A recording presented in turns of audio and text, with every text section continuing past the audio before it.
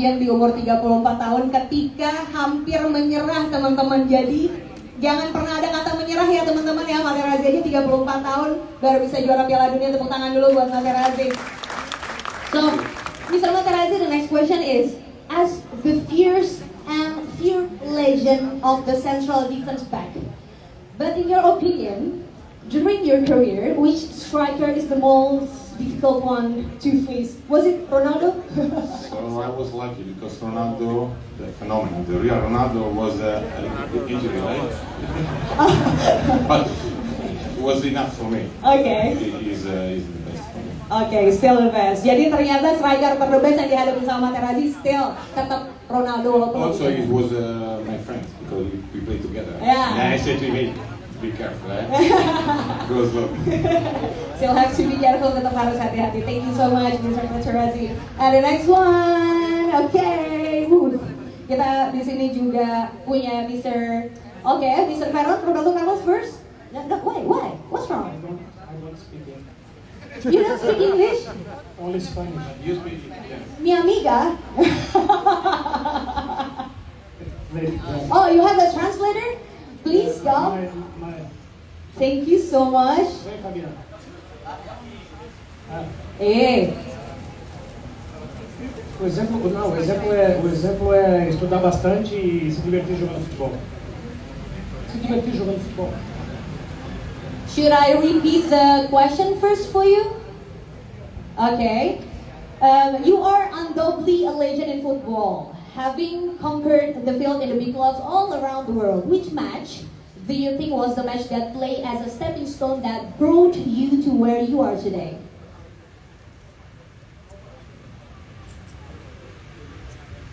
Uf. Jogo difícil. We can go from the grass. Todos, é, é. Não, todos os jogos da minha vida foram importantes. Todos. Mas o meu começo, o começo no União São João foi o mais espetacular, que é onde eu consegui crescer na vida. So Mr. Carlos said that the beginning was very difficult, Uh-huh. com- coming from a small village uh, in a poor environment, but he fought, fought, fought for so uh, much, and then things started to happen to him. And uh, the be- best moment for him was when Brazil won World Cup 2002. Wow.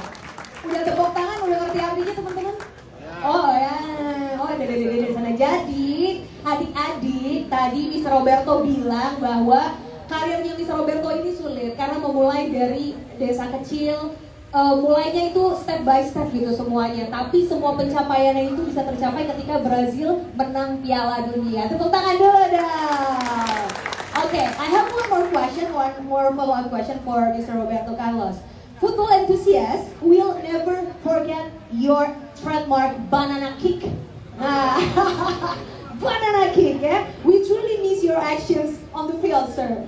As a former Inter Milan player also, Mr. Roberto Carlos, what is your prediction for upcoming Champions League final, Inter Milan versus City? Oh, okay, it's legit. Yeah, Champions League. Manchester City. You played for it, I remember. Ah. Aí, aí, Don't know. o Manchester City é um, é um grande time, um grande clube, mas é claro, o Inter, Inter é Inter. Manchester, Manchester City is a big squad, but uh, of course he'll be supporting Inter. Oh, wah intermisti semua ya. Tuh teman-teman, jadi walaupun Ini squadnya luar biasa gitu ya, pemain-pemainnya bagus-bagus, tapi secara main di Inter jadi aku bela Inter. Tepuk tangan dulu dong buat Mr. Roberto Carlos. Si, si, si. Thank you, thank you. Gracias, Mr. Roberto Carlos. Okay, the next question uh, for Mr. Ferron, same question. You can answer. Maybe I should repeat the question. What was the match that become your stepping stone in your career? Eh, bueno, buenas noches, buenas tardes. Buenas noches. Eh, coincido con, con un gran, gran jugador dio Brasil, de Roberto, eh, que el, el sueño fue jugar al fútbol, no, no, no más. Desear de jugar al, al fútbol. Oke, artinya apa bang? seperti Roberto Carlos, uh, Vero juga mempunyai impian untuk menjadi uh, pesepak bola profesional. Oh, seperti Roberto Carlos tetap punya mimpi yang sama untuk menjadi mimpi jadi pesepak bola profesional. Tepuk tangan dulu teman-teman untuk Peron. Maybe you can um, remember one one of the most special or memorable match that you remember for the whole of your career. Maybe? Y creo que todos tuvimos eh, la posibilidad de jugar grandes, grandes partidos, muchos, muchos más perdidos que ganados. Eh, y es difícil decir un partido. Para mí fueron todos en definitiva. Oke, gracias. Silakan Bang. Uh, bagi dia semua pertandingan itu sangat penting dan sangat ada yang mudah dan ada yang sulit dan Ah. bagi bagi dia itu sangat berkesan semuanya. Oke, jadi nggak bisa milih satu ya teman-teman, semuanya berkesan tepuk tangan dulu dong Mr. Ferran. Oke, last but not least for Mr. Georges. Yeah. Am I spelling it right, Mr. Georges? Oke. Yes. Georges. Oh, one gorgeous. Bukan gorgeous, jadi beda arti nanti Pak Erik ya. Tapi gorgeous juga sih Pak. Oke, Mr. Georges, many people didn't count Greece as a candidate to become a champions. What was your secret formula to triumph over Portugal in 24? Yeah, that was the memorable moment, right? First of all, hello to everybody. Thank you, Mr. the invitation to us. Yes, 2004 uh, for us, your dream. You beat the best team in Europe, also in the world. It's Make the impossible nothing. For the small team to believe, to make the dream, to win, to make the all the people, all the Greek people happy. Go to the street, 10 million. Uh, you make the street, make happy. Also for us, it's a big achievement. This is uh, more example for uh, to believe your dream. Oh yeah. I was his. Pardon? What? Because in the locker room, Uh-huh. Oh. every day I say to him, hey, Giorgio, who is your first game? Uh, Portugal. Okay, 3 0 for them. Second game against Spain. Spain. Okay, 4 0 for them. he, he laughed, laughed, laughed, and then I pushed them Yes. be Awesome. I push this. You don't not believe. It's not believe uh, for us, but I believe for yourself, for your coach, for your teammate.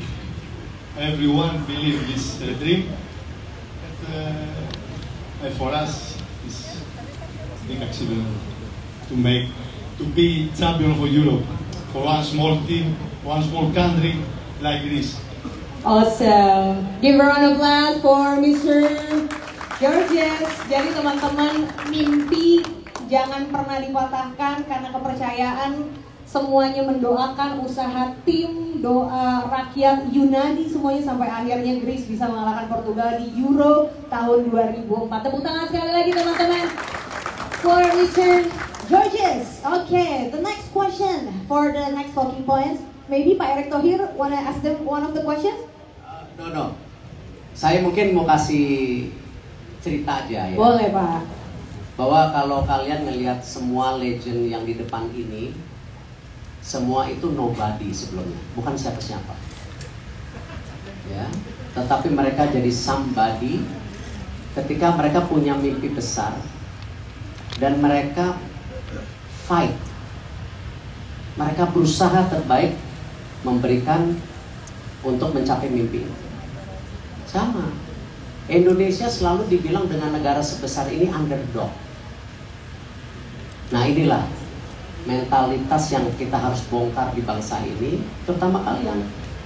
U16, U17 ke depan. Bahwa kalau kita punya mimpi, kita kerja keras bisa. Tadi, Marco Materazzi bilang, dia baru main professional football umur 22-23. Telat.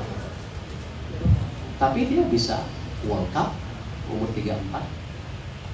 Erik Abidal difonis cancer rata-rata give up. Dia balik menjadi juara. Ya, Roberto Carlos, Juan Ferron, sama dari desa miskin nggak punya apa-apa. Tapi semua main di klub besar, Manchester United, Real Madrid. Siapa mereka? Ya, sama ketika Greece juara ngalahin Portugal. Semua pasti bilang, apa Greece? Juara. Artinya apa? Kalau kalian serius bangun dari sekarang, ya, kalian bisa. Nah, kenapa event ini kita PSSI terima kasih sama BRI buat? Ya, mungkin banyak orang lihat nih main-mainan aja bawa legenda. Enggak. Justru kita mau bawa mereka ke sini jadi contoh kalian. Ya, jadi contoh kalian belajar dari mereka. Dan saya kemarin minta Expo kumpulin semua terbaik U16 17 di Indonesia untuk kita seleksi secara profesional untuk kita bangun tim pelapis masa depan setelah U20 kita, U22 kita. Siap? Oke, terima kasih. Yeay! Teman-teman. Jadi jangan pernah ngerasa terlambat untuk memulai ya. Everything possible to happen if you really dream about it. Oke, pertanyaan terakhir ya. Oke, teman-teman. Uh, so guys, this is the last question for all of you. What is the most important thing to learn about football at an early age? The fundamental things, for example, discipline or maybe skill development or mentality. Maybe we can start from